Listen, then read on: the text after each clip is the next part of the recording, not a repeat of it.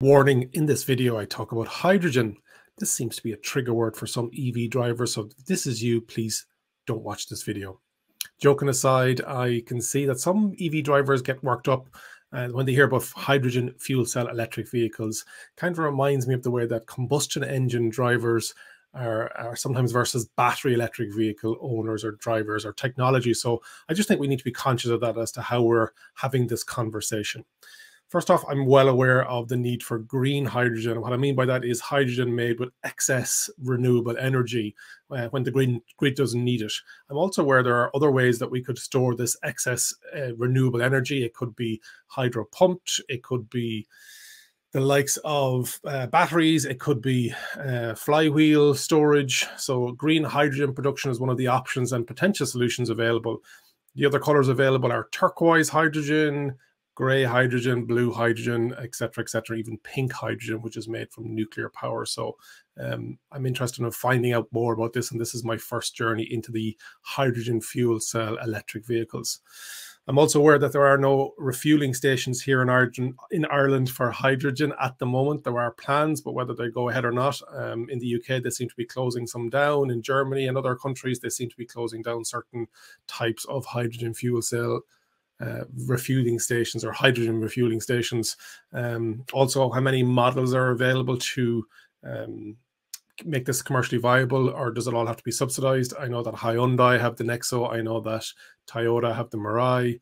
Um, whether BMW put this iX5 into production, it's only a pilot at the moment. I don't have a price on the actual cost of this if it was to retail. So uh, hopefully you enjoy my video around the BMW hydrogen fuel cell electric vehicle, the iX5.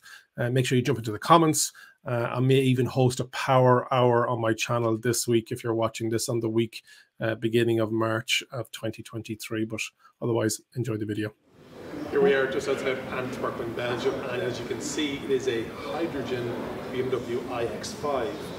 Stylistically very similar to the standard BMW iX, or sorry the X5 but what you will see is you'll see some blue highlights around the front, you will see blue fins, blue in the headlights. I really like these alloy wheels, uh, 22 inch with again aero and efficiency being important in it but pretty much everything else is the same.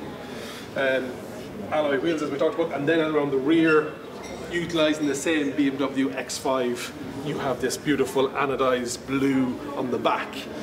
What we're going to do now is, the styling is not really the main point of this car, it is the drivetrain, the hydrogen fuel tanks, etc., and how that's all set up. So what we're going to do is transport ourselves to the port of Antwerp uh, and look at the inside of the actual BMW iX5 hydrogen fuel cell electric vehicle.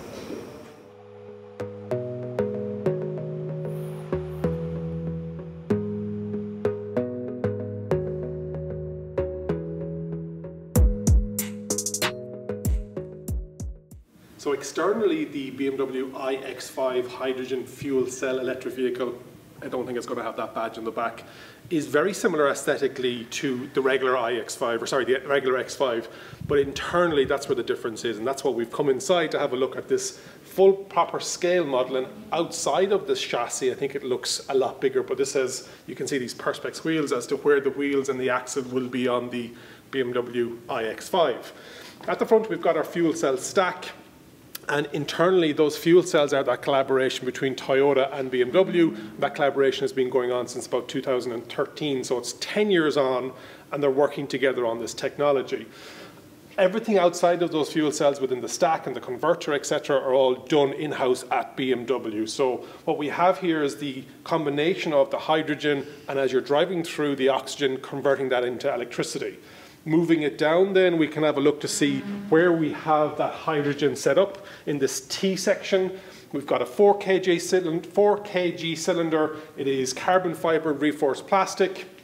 They've crashed it, they've tested it, uh, very secure. There is uh, release, release valves as well if it is involved in an accident where there may be fire. This is a 4 kg, this is a 2 kg. The filling stank is here. It is 700 bar pressure takes about, for every kg, it takes about a minute. So you're filling it between four and five minutes. Range, you're looking at about a 500 kilometer range. Cost, we've seen different prices today. We did a filling station tour, and that was at 17.99 kg per 17.99 euro per kg. But we believe that's blue hydrogen. Green hydrogen we're hearing in Belgium is 10 kg at the moment. So you're looking for a range of about 500 kilometers for about 50 euros, probably similar to petrol and diesel, depending on what country you're in. Then moving back along, Power-wise, we've got 125 kilowatts worth of power in the fuel cell stack, and then we have 175, 170, giving a total of 295 kilowatts worth of power. You have your e-motor, e-machine in underneath, and that's the same one from the BMW iX. You have a two kilowatt hour battery that helps you with acceleration, peak power, whenever you need that extra power. So the combination of all this comes together, and the reason that I came here to film it is because of that electric vehicle side of things, and this is that fuel cell electric vehicle. In Ireland, we haven't got any fueling stations yet, but a lot of my audiences are from around the world, and I think a lot of people are going to be interested in this technology, whether you want to go longer distances, whether you want to fill up faster, whether you want the ability of being able to operate in a colder climate, it's not going to affect it. Heating of the cabin is done as a byproduct of that uh, process of converting that hydrogen into energy. Um, efficiency of it, we're, we're hearing around about 60% efficient. As always, I'm a proponent of green hydrogen and making sure that we're using that as much as possible. And today we're hearing about the production of hydrogen and that renewable energy side of things. But that's the technology, that's what's in underneath. What we're going to do now is take it out for a drive and feel that driving experience of the BMW iX5. One of the reasons we were in the port of Antwerp is right beside the Port Authority building is the CMB Tech hydrogen filling station. And this is where they actually fill up the cars, but also boats, buses, lorries. Buses and lorries are coming in at a 350 bar pressure and passenger cars like this one are coming in at a 700 bar pressure. They have an electrolyzer on site, so they're actually producing their own hydrogen very self-sufficient. Now, whether that's green hydrogen or not is, the, is another question.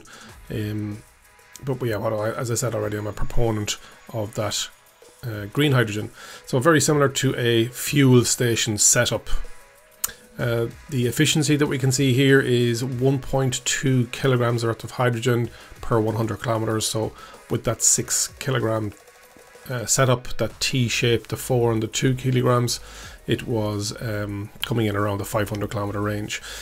Driving it, um, not, no great shakes here. Uh, Seth Moss on Twitter replied to me, spoiler, it drives like an electric car, and it is because it is a fuel cell electric vehicle. So, what they have is they have uh, the same regenerative braking setup as the i4 and the iX. They even have the Hans Zimmer sound when you're driving along, very smooth, really nice to drive like all EVs, and just interesting to do it in a BMW X5 that they've converted. I wasn't behind another hydrogen iX5 on this trip, but I was speaking to uh, my travel colleague Geraldine Herbert, and she was saying she was behind them and she could see the water coming out of the tailpipes just dripping out. So that is the only emission that comes from the tailpipe of a hydrogen fuel cell electric vehicle. Hopefully, you've enjoyed my look around the BMW iX5. As mentioned, I'm going to probably do a power hour this week. So if you're interested in continue this conversation, jump into the comments, subscribe to the channel. But also remember, if you think an EV is for you, leave it to me and I'll review. Thank you very much for watching.